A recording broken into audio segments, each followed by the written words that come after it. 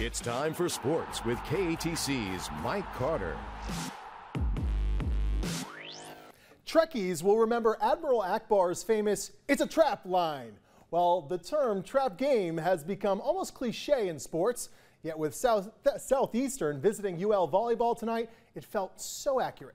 The extra spicy Cajuns undefeated in Sunbelt play, hosting SLU, who hadn't won a set in its last two matches.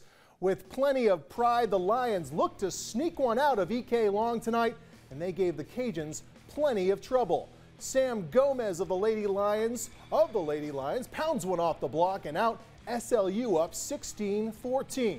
It's a 27 piece 27 apiece here late in the set 1.